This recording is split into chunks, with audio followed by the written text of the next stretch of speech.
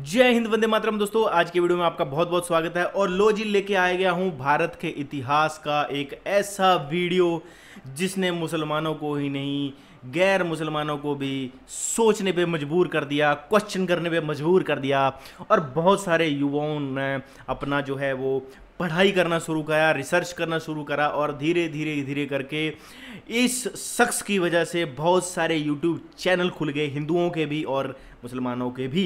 उन्होंने भी इस्लाम के ऊपर क्वेश्चन उठाना शुरू करे और जो मुस्लिम चैनल बने थे, उन्होंने हिंदुओं के ऊपर क्वेश्चन उठाना शुरू करे और इसी बीच में हमारे जैसा एक आम आदमी भी इन जैसे वीडियो को देख कर झंझोर जाता है, अंदर तक हिल जाता है और फिर देखता है कि यार ये क्या सुन लिया मैंने? आज तक कभी ज़िंदगी में मैंने ऐसा नहीं सुना था और फिर खोज शुरू होती है उन प्रश्नों के उत्तरों की।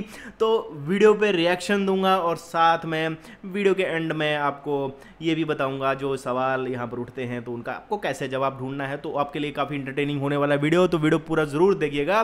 तो लेट्स स्टार्ट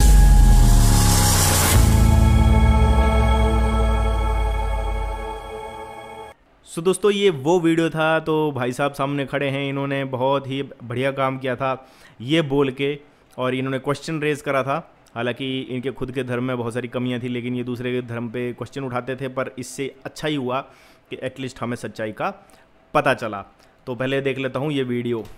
एक बहुत फ़ेमस मशहूर त्यौहार जो अब भी चल रहा है, वो है गणेश चतुर्थी।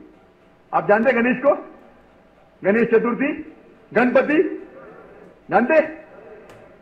गणपति को नहीं जानते।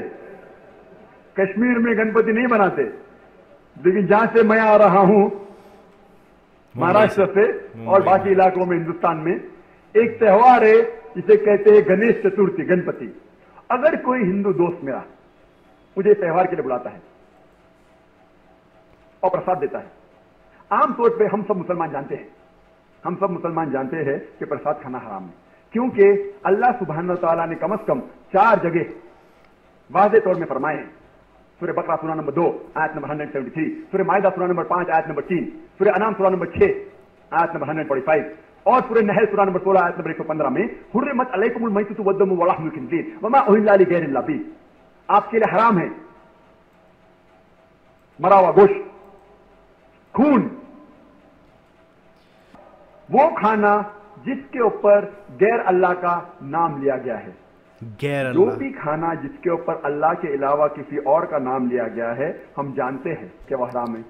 लेकिन जब हमारे हिंदू दोस्त हमें बुलाते पूजा के लिए और जब प्रसाद पेश करते हैं हम उसका दिल नहीं छोड़ना चाहते हैं। तो हम क्या करते हम बिस्मिल्लाह बोल के खा लेते। कल हम बिस्मिल्लाह बोल के शराब पीएँगे परसों बिस्मिल्लाह बोल के हंजीर का गोश्त खाएँगे। क्या होगा मैं मुस्लिम उम्मा को? हम मुँह भी नहीं खोल सकते। हम हमारे गैर मुसलमान दोस्त को नाराज़ नहीं करना चाहते। हम समझते हैं कि अगर मैं कहूँगा कि मैं प्रसाद नहीं खाऊँगा तो उसका दिल टूट जाएगा। हमको हमारे गैर मुसलमान के दोस्ती ज़्यादा मोहब्बत है, अल्लाह से ज़्यादा। हम हमारा मुँह भी नहीं खोल सकते। इस्लाम की दावत देना बहुत आसान है। अल्लाह ताला फरमाते कुरान मजिद में किस तरीके से दावत दी जानी चाहिए। जैसे मैं कह रहा था, मिसाल के तौर पर, अगर मुंबई में कोई हिंदू, मेरा दोस्त, मुझे अगर गणेश की पूजा के लिए बुलाएगा और मुझे प्रसाद देगा तो मैं एक आसान सा सवाल उससे पूछूँगा, मैं उससे पूछूँगा, ये गणेश कौन है? ये गणपति कौन है?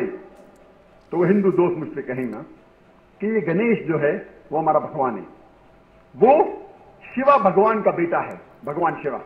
और ये उनकी किताबों में लिखा हुआ है कि गणेश भगवान, शिवा भगवान का बेटा है। और एक दिन जब भगवान शिवा अपने घर के बाहर निकलते हैं, उनकी बीवी पार्वती अपने जिसम से मेल निकालती है और एक बेटा बनाती है।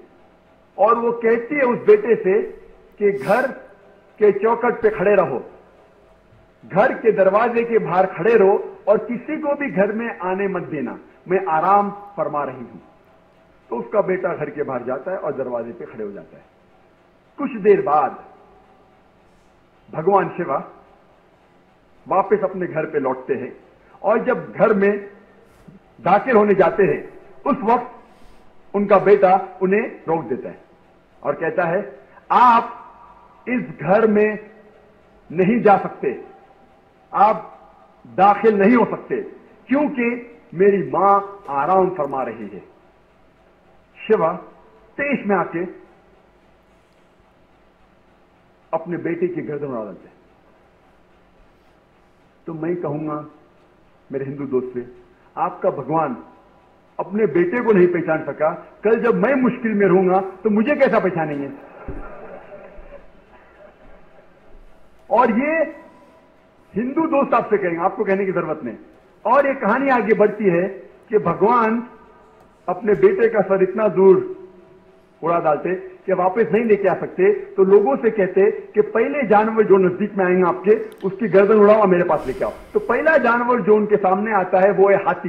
तो हाथी की गर्दन उड़ाते और शिवा के पास लेके आते और भगवान शिवा अपने बेटे के सिर पे लगाता है और वजूद में आता है गणपति एक लड़का जिसके सिर की जगह है हाथी का सिर। मैं कहूँगा, अब इसको भगवान मानते मैं दोस्त कहेगा अरे, जाने देना जाकिर, ये तो कहानी है। अरे, लेकिन ये आपका भगवान है क्या? अरे, जाकिर, जाने देना ये तो सिर्फ़ कहानी है। मैं कहूँगा, आप मुझे साबित करके दिखाओ कि गणेश भगवान है। और मैं प्रसाद खाऊँगा, क्योंकि कुरान में लिखा हुआ है कि अल्लाह के नाम का खाना मैं खा सकता हूँ। बोलेगा, जाने देना जाकिर, ये छोड़ कहानी है, ये सिर्फ़। मेरे मज़हब में मैं कहूँगा नहीं मुझे साबित करके दिखा। अभी मैं उसके पीछे भागूँगा। साबित करके दिखा। और ये बहुत आसान है। हमें किसी भी गैर मुसलमान के खुदा को गाली नहीं देना चाहिए। अल्लाह ताला फरमाते हैं कुरान मजिद में सूर्य अनाम में सूरा नंबर छह आयत नंबर 108 में आप वो लोगों जिनकी वो पूजा करते हैं जिन लोगों की वो अल्लाह के अलावा पूजा करते हैं उनको आप गाली मत दो। जिन लोगों की वो पूजा करते हैं, इबादत करते हैं, अल्लाह के अलावा उन लोगों को आप गाली मत दो। नहीं तो जहालत में वो लोग अल्लाह सुबहाना तआला को गाली देंगे। तो हमें गैर मुसलमानों के भगवान को गाली देना हराम है। तो हमें कुछ नहीं कहना चाहिए, सिर्फ़ पूछना चाहिए, ये कौन है? और वो हिंदू या वो गैर मुसलमान अपने आप अपना काम करेगा। आपको उन्हें बुरा भला नहीं कहना चाहिए। इस्लाम में इजाज़त नहीं है। लेकिन ये तो पूछ सकते कौन है ये? आपका गणेश कौन है? आपका भगवान कौन है? मुँह तो खोलो। हम मुँह खोलने से डरते हैं। बोले गए हैं, अगर वो अल्लाह फॉर्मलेस है, अल्लाह ऑमनी प्रेजेंट है तो मोहम्मद साहब उनको सातवें आसमान पे मिलने कैसे ऊपर हाथी का सर है, नीचे इंसान की बॉडी है तो के देख लेना। जब तक तुम लोगों को बेसिक कॉन्सेप्ट क्लियर नहीं है वेद में आता है, ना उपनिषद में आता है, ना महाभारत में आता है, ना रामायण में कहीं नहीं आता है। ये पुराणों में आता है।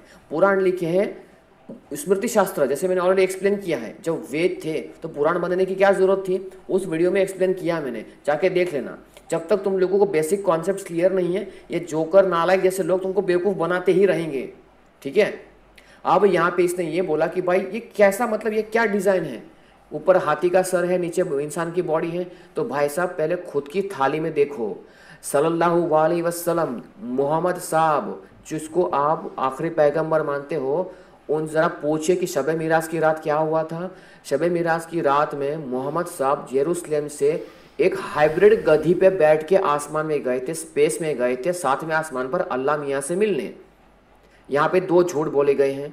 अगर वो अल्लाह फॉर्मलेस है, अल्लाह ऑमनी प्रेजेंट है तो मोहम्मद साहब उनको सातवें आसमान पे मिलने कैसे जा सकते हैं? मतलब अल्लाह यहाँ पर नहीं है मतलब वो ऑमनी प्रेजेंट नहीं है, ठीक है? मतलब वो फॉर्मलेस भी नहीं है। जो फॉर्मलेस है, उसको कैसे मिल सकते हो? उसकी सिर्फ़ आवाज़ सुन सकते हो, जैसे जिब्राइल ने सुनी थी। यहाँ पर तुम्हारी चोरी पकड़ी जाती है। और दूसरी बात, जिस गधी पर बैठ कर गए थे, सुनो ध्यान से, जिस गधी पर बैठ कर गए थे, वो कैसी थी? ज़रा फ़ोटो देखिए। ठीक है? देख लो। देखो भाई इनका खुद के थाली में गंध भरी पड़ी हुई है और उनकी ऑथेंटिक स्क्रिप्चर है ठीक है? हमारे वेद में या उपनिषद में या दर्शन कहीं पे नहीं लिखा ये गणपति के बारे में। गणेश शिव रुद्र इंद्र ये सब एक ही निराकार ईश्वर के अलग अलग नाम हैं। बट यहाँ पे इनको जो नबी है ये भाई साहब हाइब्रिड गधी जिसकी बॉडी टोटल बॉडी गधी की है लेकिन उसके ऊपर का हिस्सा महिला का है। और ये महिला के गधी पे बैठ के भाई साहब लाइट की स्पीड से स्पेस में जाते हैं, बिना किसी ऑक्सीजन सिलेंडर के, बिना किसी स्पेस सूट के। आपको हँसी आ रही है, लेकिन मैं कुछ नहीं कर सकता हूँ, ठीक है? तो भाई, इसको पंख भी है। पंख कहाँ से आ गया भाई? पंख तो हम, चलो एटमोसफियर स्ट्रेटोस्फियर ओजोन तक लेयर तक सही मान सकते हैं। वहाँ पे हवा हो सकती है। उसकी स्पेस में हवा है क्या भाई? तो वहाँ कैसे चले गए? तो पहले खुद की थाली देखो फिर दूसरों पे कमियाँ निकालो ठीक है? जब दूसरों को कोट करते हो ना तो उसके ऑथेंटिक सोर्सेज को कोट करिए। तो अभी एक और वीडियो इसमें मैंने ऐड किया है वो देखना भी ज़रूरी है क्योंकि उसके बिना फिर सारा समझ में नहीं आएगा तो फ़ायदा कोई नहीं है तो ये भी देख लेते हैं। सनातन धर्म सारे इंसान एक जैसे नहीं है सारे जीव एक जैसे नहीं है। Let's talk about human being ठीक है? तो सारे इंसान एक जैसे नहीं है बहुत सारे डिफरेंसेस हैं इन देयर माइंडसेट ठीक है? तो मैंने ऑलरेडी इस पर एक वीडियो बना चुका हूँ कि जो माइंड साइकोलॉजिकल माइंडसेट है, उसके बेसिस पे जो फीचर्स बनाए हैं नेचर ने, ठीक है? तो ये फीचर कौन कौन से हैं? सत्वगुण, रजोगुण, तमोगुण। मैं ऑलरेडी वीडियो बना चुका हूँ, जाके देख लेना बाद में, ठीक है? तो इनके बेसिस पे जीव को डिफरेंशिएट किया जाता है क्लासिफाई किया जाता है। जैसे कि हर बच्चा मेडिकल साइंस नहीं पढ़ सकता तो वो जाएगा फिर कहाँ पे? इंजीनियरिंग में। फिर अगर वो भी नहीं पढ़ा तो कहाँ जाएगा आर्ट्स कॉमर्स में जाएगा। वो वो भी नहीं पढ़ पाए तो कुछ और करेगा। तो जिसकी जैसी इंटरेस्ट लेवल होगा, जिसका जिसका साइकोलॉजिकल लेवल होगी, उसके अकॉर्डिंगली वो चूज़ करता है। तो शुरू में क्या होता जो वेद का नॉलेज दिया था, वो ऋषि मुनियों का दिया था। ठीक है? और मैंने पहले पहले ही एक्सप्लेन किया है कि how Vedas were given Veda कैसे मिले? किस, उनको ही क्यों मिले? वो भी बताया मैंने। तो वैदिक ज्ञान जो है ना, ये एक प्योरेस्ट फॉर्म का ज्ञान है। तो उस ज्ञान को ग्रहण करने के लिए और उसको, उसका परसेप्शन क्रिएट करने के लिए, उसको अंडरस्टैंड करने के लिए आपके पास वो क्वालिफिकेशन होनी चाहिए। ठीक है? If you want to become a doctor तो just because you you can not just go and gain knowledge आपको समझ में तो उस, आपकी माइंड सेट तो होना चाहिए कि मैं उस लायक हूँ, मैं चीज़ को समझ सकूँ। राइट अगर जब नहीं समझ पाओगे, तब क्या कर सकते हो? कुछ और चूज़ कर सकते हो। उसी तरीके से जो वैदिक ज्ञान मिला है ना उस वैदिक ज्ञान को समझने के लिए, ध्यान से सुनना वैदिक नॉलेज को, वैदिक मंत्र को समझने के लिए वो क्वालिफिकेशन भी होनी चाहिए। लेकिन जो कि सारे इंसान एक जैसे नहीं है, उनमें डिफरेंसेस है, उनके माइंडसेट में। कौन कौन से? सात्विक, राजसिक, तामसिक। ठीक है? कि ना? तो ज़रूरी नहीं कि हर एक इंसान को वैदिक ज्ञान समझ में आए। ज़रूरी नहीं कि हर एक को मेडिकल साइंस समझ में आए। ज़रूरी ये भी नहीं कि हर किसी को कॉमर्स समझ में आए। राइट तो वैदिक शास्त्र जो है ना इसमें दो टाइप है श्रुति और स्मृति। श्रुति मैंने एक्सप्लेन किया व्हाट इज़ हर्ड जो कि वेद सिर्फ़ वेद ही श्रुति शास्त्र है। और वेद को छोड़ के जितने भी है सबके सब क्या है? स्मृति। मतलब पुराण भी क्या हो गया? स्मृति। ठीक है? पुराण अब है क्या? वेद क्लियर हो गया। देखिए दोस्तों जिनको वेद समझ में नहीं आता है उनको वैदिक कंसेप्ट ध्यान से सुनना उनको वेद के कॉन्सेप्ट पुराणों के ज़रिए समझाए जाते हैं स्टोरी टेलिंग करके। ठीक है? इसलिए आपने देखा होगा, पुराणों में ना कहानियाँ बहुत ज़्यादा है। शिव जी की, शिव पुराण हो गया, विष्णु पुराण हो गया, गरुड़ पुराण हो गया, मत्स्य पुराण बहुत सारे क्यों? अगर अगर जो कॉमर्स का बच्चा है, उसको एच टू ओ क्या होता है एच टू एसओ फोर क्या है, उसको नहीं पता। लेकिन वो किसको पता है जिसने केमिस्ट्री पढ़ा है राइट तो जो कॉमर्स का बच्चा होगा, उसको अकाउंटिंग के लैंग्वेज में समझाया जाएगा। टैली के लैंग्वेज में समझाया जाएगा। तो जो जैसा है मेंटली स्टेबल है, उसके अकॉर्डिंगली उसको ज्ञान मिलेगा। तो ज़रूर ज़बरदस्ती नहीं कि हर किसी को वेद के मंत्र समझ में आए। तो वेद के मंत्र हार्ड है राइट वैदिक संस्कृत समझना इतना आसान नहीं भैया। बड़े बड़े लोगों ने जो है, झुक गए उनके सामने। तो जो तमोगुणी लोग हैं, खास करके, रजोगुण और तमोगुण मोस्टली तमोगुणी लोग जो हैं, जो आलसी होते हैं। मैंने ऑलरेडी एक्सप्लेन किया कि ये तीनों के है क्या ये गुण क्या क्या है। ठीक है? जो तमोगुणी लोग होते हैं ना, वो थोड़े आलसी होते हैं, ज़्यादा मेहनत नहीं करते हैं। और उनकी जो आईक्यू लेवल भी नहीं कह सकते, लेकिन उनकी कॉन्सेंट्रेशन है। वो उनका ध्यान कहीं और भटकता होता है। तो वो तमोगुण में इसलिए तो है। वो है इसलिए वो चीज़ों को वैदिक नॉलेज को समझने में दिक्कत आती है। पर जो कि वो इंसान है, ज्ञान लेना ज़रूरी है। तो ऋषि मुनि ने क्या किया?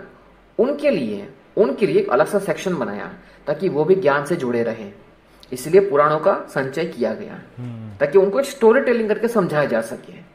इसलिए आपने देखा होगा मैं एक एग्ज़ाम्पल देता हूँ ब्रह्मा विष्णु महेश। ठीक है? पुराणों में इन तीनों की फ़ोटोज़ है ब्रह्मा विष्णु महेश की। बराबर है ना? But according to Vedas Brahma Vishnu Mahesh कौन है? ब्रह्मा विष्णु महेश शिव रुद्र इंद्र ये सब निराकार ईश्वर के ही अलग अलग नाम है। लेकिन पुराण में जाओगे तो इन तीनों को अलग अलग से बताया गया है। ब्रह्मा माने कौन? इंजीनियर बनाने वाला डिज़ाइन करने वाला। विष्णु माने कौन? पालने पोसने वाला। एंड uh, शिव माने कौन? महेश माने कौन? डिस्ट्रक्शन करने वाला। तो ये कॉन्ट्रडिक्शन क्यों है? भाई ये कॉन्ट्रडिक्शन नहीं है। जिसकी जितनी लेवल होगी अंडरस्टैंडिंग की उसके अकॉर्डिंगली हम उसको समझाते हैं।